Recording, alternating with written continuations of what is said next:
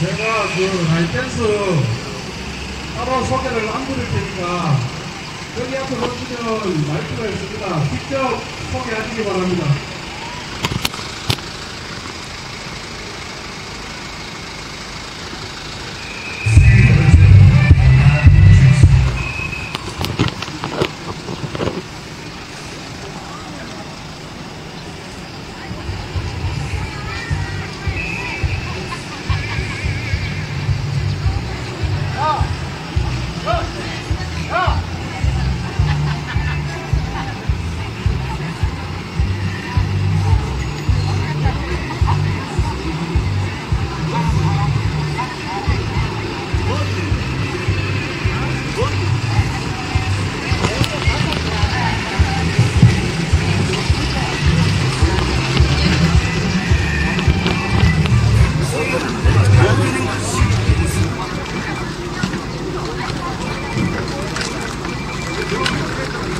안녕하세요.